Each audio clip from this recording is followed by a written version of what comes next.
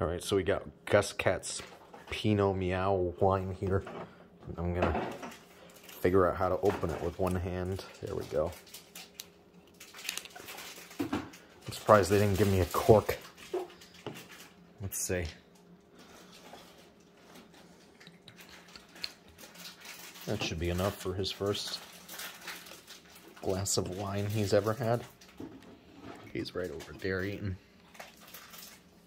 Let's see if he's into it. Hey, Gus Cat.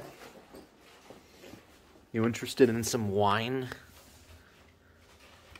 No, he's busy. Now he's like, ooh, what's this?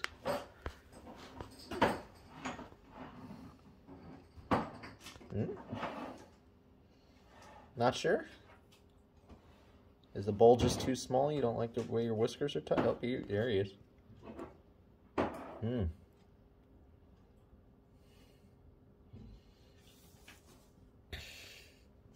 Go on. Go ahead. That's for you.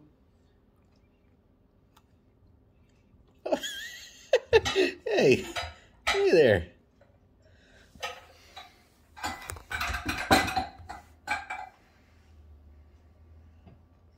Go ahead. It's for you. See? Go on.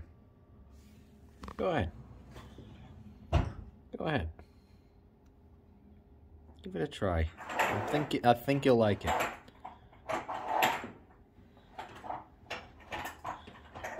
Uh, he's not that interested.